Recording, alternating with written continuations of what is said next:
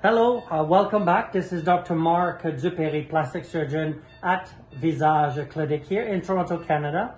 I'd like to first say thank you to my patient who've agreed for this filming. Uh, today is the World Anti-Bullying Day, and I thought this was very appropriate today to discuss chest masculinization for our transgender patient. Uh, this patient, young guy, has transitioned from female to male many years ago has developed a large amount of muscle bulk. Um, and despite the testosterone treatment, there was still some excessive breast tissue. So uh, together we looked at all the options for techniques and we've decided on the so-called double incision technique, nipple areolar complex graft. So here is our final result. I remove about 128, 130 grams per side of breast tissue did a bit of liposuction to the chest and the chest rolls for contouring.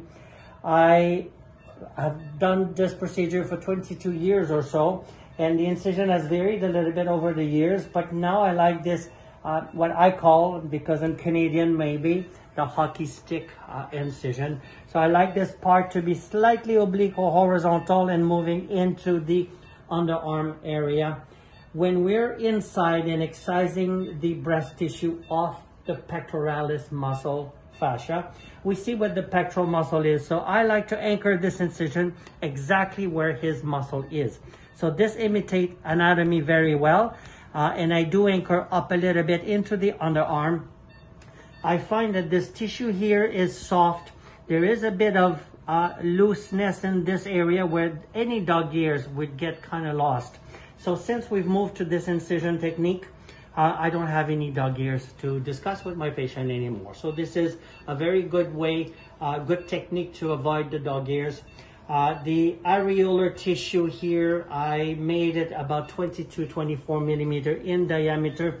Uh, he is a muscular guy, but not very tall. So I kept it fairly small and I always like to put the complex, the areolar tissue, higher than the fold. And on average about 15 millimeter above the fold, which imitates again the uh, male anatomy.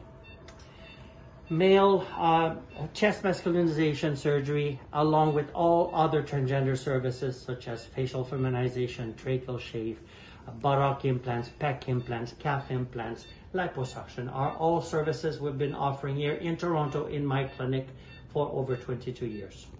I thank you for watching. Happy World Anti-Bullying Day and see you soon.